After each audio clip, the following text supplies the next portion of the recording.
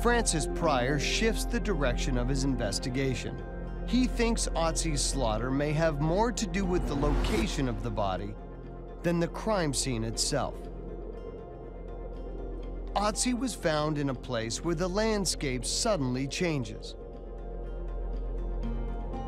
These areas are known as liminal zones and are associated throughout history with human sacrifice.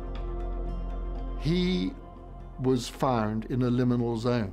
He was above the tree line, in the snow, and that's where we do find sacrificial victims.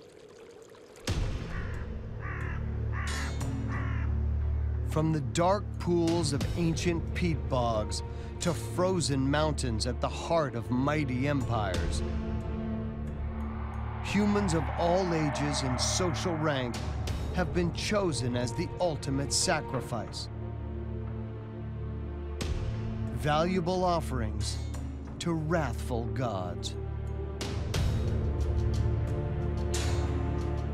Did Otzi meet a similar end and become a human sacrifice on an icy glacier?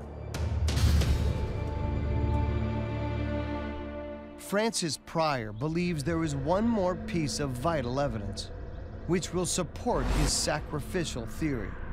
Near the bow, lying on a stone slab, was one of the most precious archaeological finds ever made Otzi's copper axe.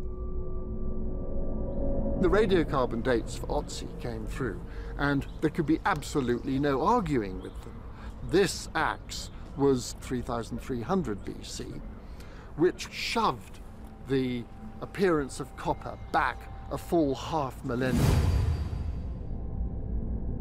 Otzi's copper axe rewrites the history books, pushing the Copper Age back 500 years. Making this axe required enormous skill. In order to make copper, you've got to get temperatures in excess of 1,000 degrees centigrade. It's all about the control of heat. That is the key thing. Francis Pryor believes the axe is another clue supporting his idea that Otzi was a victim of ritual sacrifice. Smelting and casting copper over 5,000 years ago was seen as almost magical, a rare skill. This Neolithic axe was a diamond jewel of its day.